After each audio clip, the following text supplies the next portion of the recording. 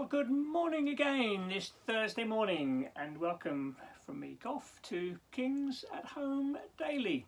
Uh, we're going through the book of 2 Corinthians, uh, just taking a few verses each morning to encourage our hearts, set our compass, as it were, as we head off into the demands of the day. Hope you're keeping well. Hope you've got a song in your heart. Uh, if you haven't, get one in there quick because uh, worshipping the Lord is a key part of our warfare as, as followers of, of the Lord Jesus. Okay, so we are in 2 Corinthians and chapter 4 now, and we're at verse 1. We've got just four verses this morning 2 Corinthians chapter 4, 1 to 4. And as always, let's ask the Holy Spirit to come and speak to us. Lord, we could just rush through this and give mental assent to a few thoughts. Yes, yes, yes, very nice, off we go. No, Lord, we thank you that your word is alive and and it, it, it can work deeply in our hearts. It can it, it can bring change. It, it can it, it, it can it can do wonderful things. It can encourage us. And I pray this morning your word will be alive to everyone tuning in this morning. In Jesus' name. Amen. Again, the background, Paul, he's been under pressure, facing criticism. He's in prison. There are some fancy teachers in the church in Corinth who are very grand and, and so on. And he's been he's been given the put down, and uh, uh, he's been really just uh, holding his ground, saying, "Look, it's not about me. It's about the the calling that I have as a follower of Jesus." So if you're facing discouragement, this will be good for you this morning. Verse 1 Therefore, since through God's mercy we have this ministry, we do not lose heart. isn't, that, isn't that beautiful?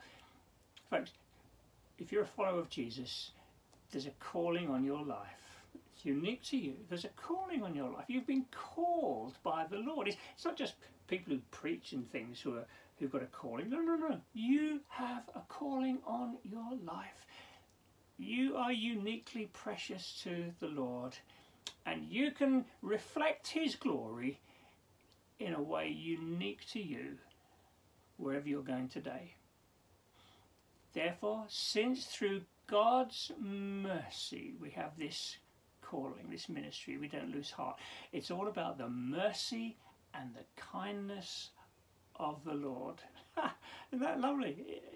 It's, it's so good to come back again and again to the mercy and the kindness of God. Doesn't make us lazy. Some people think that the grace of God, the mercy of God makes us lazy. Oh, it's all right. It's just, you know, he loves me whatever I do. No, no, no, no. When you really understand the mercy of God, his kindness, hesed, we use that word again and again in the old from the Hebrew word that covenant love, the loving kindness of God. Oh, Give us a big vision of that, Lord. I pray, give us a big vision of your loving kindness, your mercy, mercy from the throne.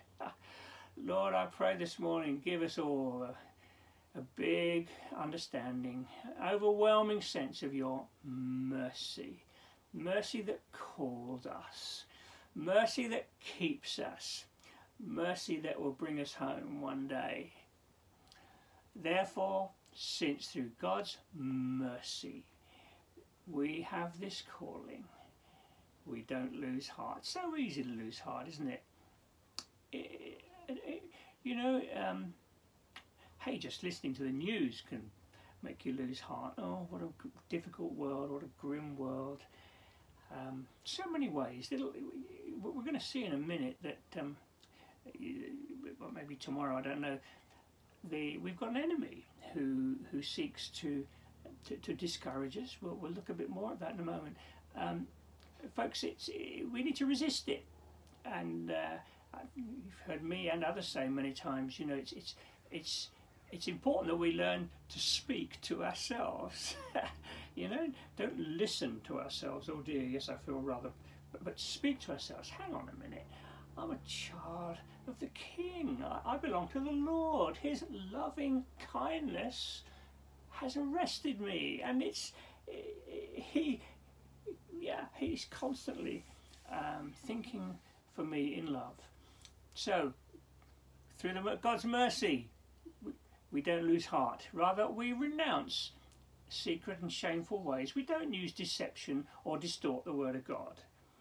Uh, again, these other teachers, perhaps they were uh, twisting God's Word and uh, being very clever in the way that they that they preached and so on. And and, and, and Paul's just saying, no, no, no, I, I take it as it is. It's, it's God's word to me. It might appear foolish at times. It might, you know, a cross, what's that all about?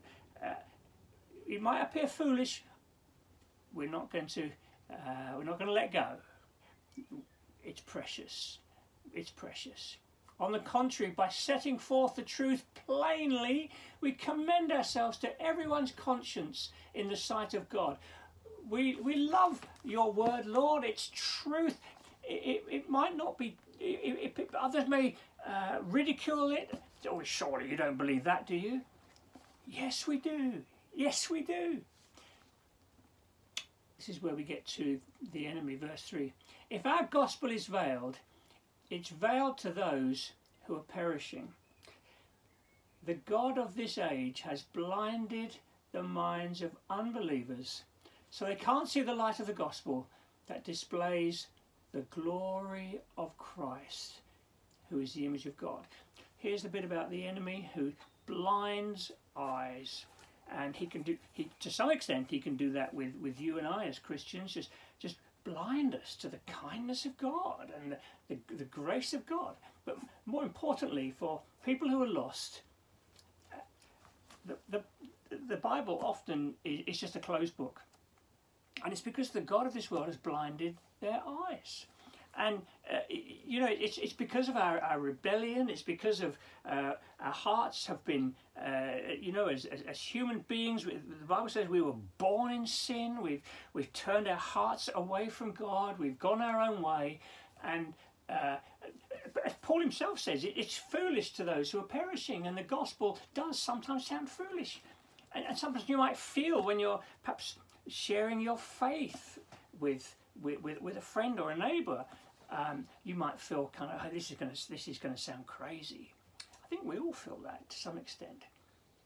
But when we realise that actually what we have are words of life, and that we've got an enemy who wants to blind people's eyes so that they walk blindly into a lost eternity, we want to be making sure that we don't let hold, let go of our grasp of wonderful truth, and that we, we pray for our neighbours and friends and family members, because it's a, do you know what? It's a miracle every time someone comes to the Lord. It's a miracle. Do you remember Jesus' conversation with Nicodemus? Um, how how is it possible? How can I be born again? And Jesus said, Well, it's impossible. The wind blows uh, wherever it wills. So it is with the Holy Spirit, blowing into people's lives that they'll be born again. Now, I think it was last week I was talking about this fact that we're in a partnership with the Lord. Somehow our prayers really, really, really matter. And so, thinking of people's eyes blinded, let's let's let's kind of focus in there as we close this morning. Who who can you think of right now who's at the moment their eyes are blinded to the Lord? Maybe they've never been a follower of Jesus and they've uh, it's it, they're just closed off. You think of someone. We're going to pray in a moment, or maybe someone who used to walk with the Lord and they uh, they've just lost their desire and their their under, their, their their heart for the Lord.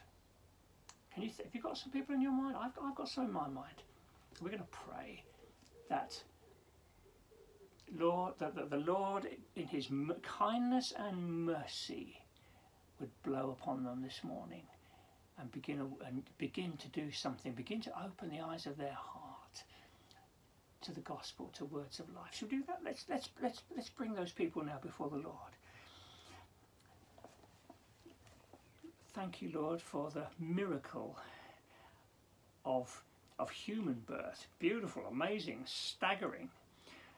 How much more the miracle of spiritual birth when you breathe on us. And we, for us, when we first came to know you, Lord, what a miracle, what a joy.